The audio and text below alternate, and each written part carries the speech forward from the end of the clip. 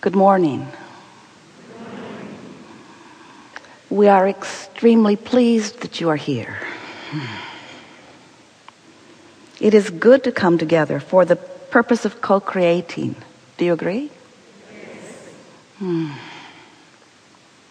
You like taking thought beyond that which it has been before? Is that what brings you? You want to be part of leading edge conversation? Expansion of the universe?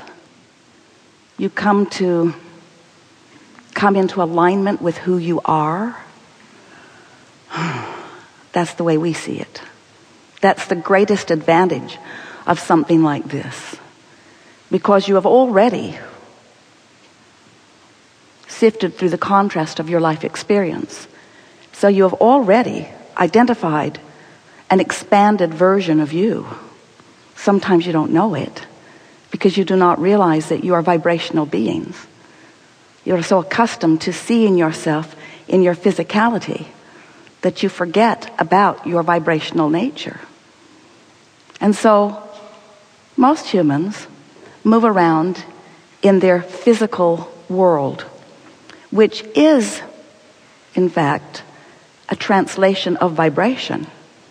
But you are so good at this translation, you are so good at your physical perceiving, that sometimes your physical awarenesses override your ability to deliberately create vibrationally. And what we mean by that is you are such good observers, perceivers, awarenessers of your reality that you observe something, and because you do, you offer a vibration about it. And because you offer a vibration about it, you offer a transmission that law of attraction is responding to. And then what you observed, which radiates out from you vibrationally, comes back to you vibrationally, and you translate it into life experience. And then it feels to you like life is happening to you. It doesn't feel to you sometimes that you are calling it to you with your offering, your vibrational offering. And that's only because you're not offering on purpose. Not all the time. Not most of the time.